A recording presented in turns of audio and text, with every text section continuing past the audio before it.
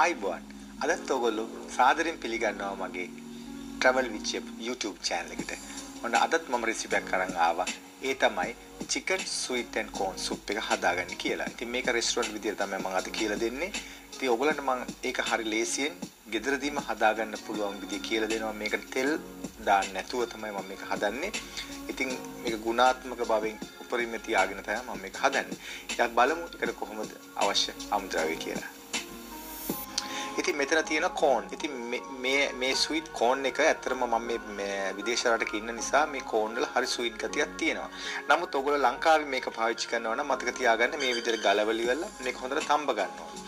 ඒ තම්බගෙන ඒකෙන් හරි භාගයක් මෙන්න මේ විදිහට මේ පොඩ්ඩක් හොඳට මේ ඔයාලට පුළුවන් නම් මැෂින් එකේ දාලා අඹර ගන්න පුළුවන්. එහෙම නැත්නම් අපිට මේක වංගෙ ටික දාලා තලාගෙන මේ වගේ පේස්ට් එකක් හදා ගන්න පුළුවන්. ඉතින් මේ වගේ මේ මේ ස්වීට් කෝන් සුප් එක හදද්දි මේ ඇට හැපෙන්නත් ඕන. ඒක පොඩ්ඩක් බ්ලෙන්ඩර් වෙලා තියෙන්නත් ඕන තව කොටසක්.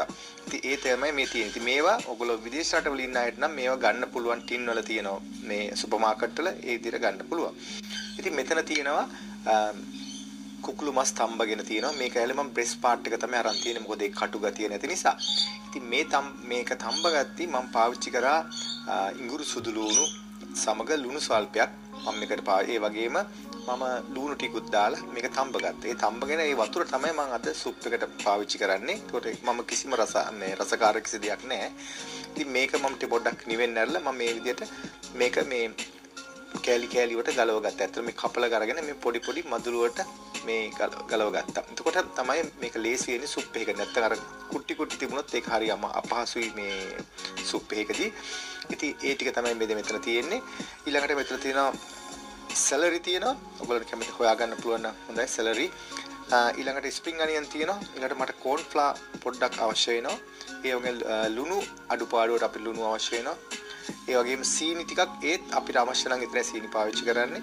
ඊළඟට මගේ ළඟ තියෙන ගම්මිරිස්. ඉතින් මෙන්න මේ ටික තමයි ප්‍රධාන වශයෙන් මේකට මේ අවශ්‍ය වෙන්නේ. ඊළඟට අපිට නැතුව බැරි දේ තමයි මේකට අවශ්‍ය අනිත් එක තමයි මේ බිත්තර. බිත්තරි සුදු මදි. ඔයගලන්ට ඕනනම් දාන්න පුළුවන් මේ කහ මදෙත් එක්කම. නැත්නම් මම මේකට දාන්නේ අද සුදු මදි විතරයි.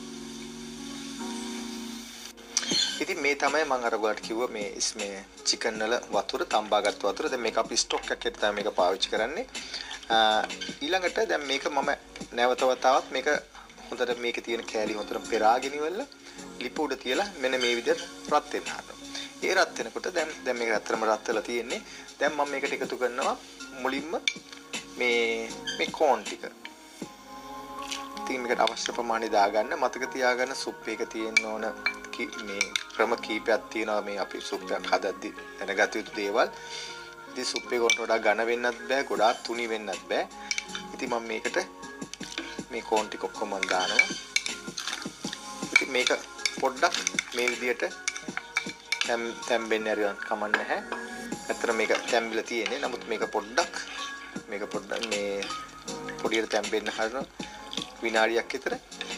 ඊට පස්සේ තමයි මම සල් මේ සැලරි ටික එකතු කරනවා. ඊළඟට මම බ්ලෙන්ඩර් බ්ලෙන්ඩර් කරගත්ත. ඒ කියන්නේ බ්ලෙන්ඩර් කරගන්න පුළුවන්. නමුත් මම අද කඩෙන් ගත්ත එක ඒ ඒ පල්ප් එක වගේ මේ මේ මේ ස්වීට් කෝන් එකත් මම එකතු කරගන්නවා.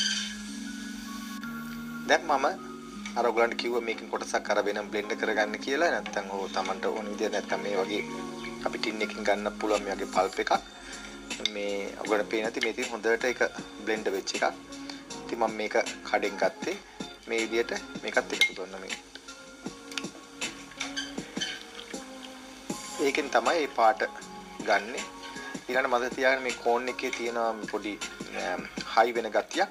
ඒ කියන්නේ මේ ස්ටාර්ච් එක ඒකෙදි බලාගෙන ගොඩාක් වැඩි කරගන්න එපා. සමහරට මේක හරි මේ සුප් එකේ ප්‍රමාණය ආවොත් ඒ තියෙන thickness එක අපිට අවශ්‍ය වෙන්නේ නැහැ මේ කෝන් ෆ්ලා එකතු කරන්න. ඉතින් මදි වුණොත් දාගන්න මම කොහොම දාන්නේ නැහැ. ඉතින් ඔගන පේන දැන් මේක දැන් වතුර ගතිය වගේ තියෙන්නේ.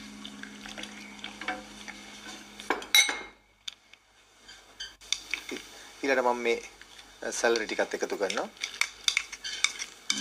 ඉතින් මේකට අවශ්‍ය වෙන්නේ නැහැ අපිට මේ සුදු ලුණු දාන්න. මොකද මම මේ සුප් එක මේ කියන්නේ මේ චිකන් එක තම්බද්දි මම හොඳට සුදු ලුණු ඉඟුරු දෙකම දාපු නිසා. ඒක නිසා ඒක අවශ්‍ය වෙන්නේ නැහැ මේකට. ඊළඟට මේ වගේ මේ වැටි ගෙනකොට දැන් මම එකතු කරනවා චිකන් ටික. ඒටි මේ විදිහට මේ මේක තව තවත් මේක කැඩලා යනවා රත් වෙනකොට. මේක එක චිකන් බ්‍රෙස්ට් එකේ ප්‍රමාණයක් තමයි මේකේ තියෙන්නේ.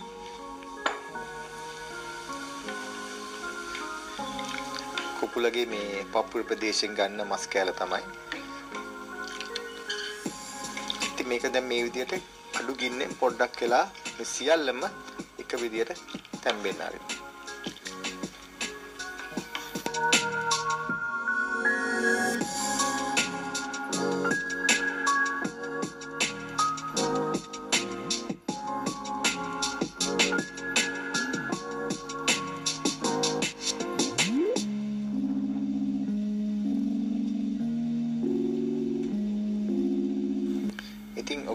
ඇති. මේක දැන් නැටවගෙන එන්නේ.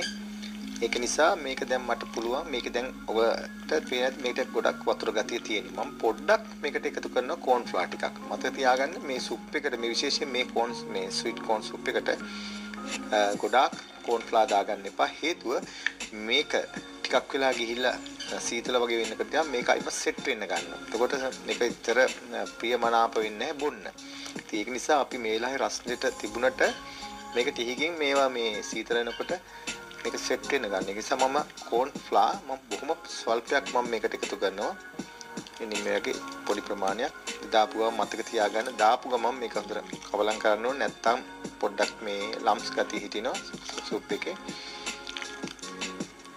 මේ විදිහට තව පොඩ්ඩක් මේකට එකතු කරනවා.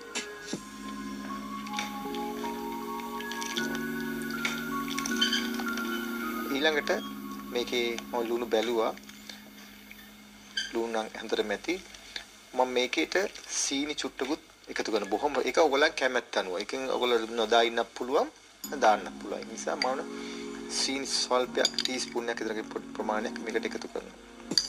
ඉතින් ඒක ඔයගොල්ලෝ රස බලලා ඔයගොල්ලන්ගේ ප්‍රියමනාප බලලා Taman කැමතිද නැද්ද කියලා බලලා ඒක එකතු කරන එක මේ නොකරන එක ඔයාලගේ කැමත. නමුත් ඔයගොල්ලෝ රෙස්ටුරන්ට් එකක් කරනවා නම් අනිවාර්යෙන් පොඩ්ඩක් එකතු කරන්න ඕන.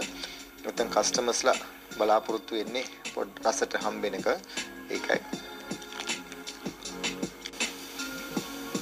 ඊළඟට මම එකතු කරන දැන් හොඳ නටාගෙන එනවා මෙන්න මේ වෙලාවේදී තමයි මම එකතු කරන්නේ විතරේ සුදු මදි සුදු මදි තනින් තන පොඩ පොඩ දාන දාපු ගමන් මතක තියාගන්න ඔයගොල්ලෝ කවලම් කර ටක් ගාලා කවලම් කරගන්න නැත්තම් මේක එක තැන හයි වෙන බලනවා එතකොට එහෙම දානකොට තමයි ඒකේ තියෙන්නේ කැරකෑලි සුදු පාටට සුප් එකේ මේ විදිහට වෙන්නේ දැන් හොඳට ඔයගොල්ලෝ පේනවා ඇති මේ සුදු පාටට මේ බිත්තරෙත් මම දාගෙන තියෙන්නේ. ඔයගොල්ලෝ බලයි ඇයි මම මේ කහ පාට එක දැම්මේ නැත්තේ. ඔයගොල්ලන්ට කහ පාට එකත් ඕනනම් දාන්න පුළුවන්. හැබැයි දැම්මොත් ඒක කහ පාට විදිහට තමයි මේ පැච් එකේ තියෙන්නේ. සුදු පාට ගතිය ටිකක් අඩු වෙන්න පුළුවන්. ඉතින් මතක තියාගන්න මේ මේක සුදු මදේ දාද්දි පොඩ්ඩක් මේ ගහලා අරගෙන දාගන්න. එතකොට මේ වගේ ගොඩක් ලම්ස් හිටින්න ගන්න නැහැ. ඊළඟට මේ අන්තිමට මේකේ ටේස්ට් එක දැන් හොඳට හොඳයි. සුවඳත් හොඳටම තියෙනවා. දැන් මම අන්තිමට මේ මේ වගේ ස්ප්‍රින් අනියන් ටික මේ ලුණු කොළ ටික මම මේ විදිහට එකතු කරනවා. කළා මම ලිප ඕෆ් කරනවා. ඉතින් මෙන්න මේ විදිහට මේක හදාගත්තා. ඉතින් හරි සුවඳක් තියෙන්නේ මෙතන. ඔයගොල්ලෝ පේනවා ඇති. දැන් මම මේක ඔයගලන්ට මේ බෝල් එකකට දාලා මම පෙන්නන්නම් කොහොමද ඒක පිළිගන්නන්නේ කියලා. ඉතින් මේ තමයි මම අද හදාගත්ත චිකන් ස්වීට් කෝන් සූප් එක. ඉතින් ස්වීට් ගතිය තියෙන ඔයගලන්ට මදි නම් ඒක අඩු අඩු පාඩු කරලා ඔයගොල්ලෝ බලලා හදාගන්න එකේ මේ අවශ්‍ය විදියට සීනි සීනි ගතිය සමහර මේ කෝන් හරීම ස්වීට් ගතිය තියෙනවා. එතකොට මේ වගේ දෙයක් හැදුවාම ස්වීට් ගතිය හොඳටම තියෙනවා. සමහර ඒවා එහෙම නැති නිසා තමයි මම අර සීනි චුට්ටක් එකතු කරන්න කියන්නේ.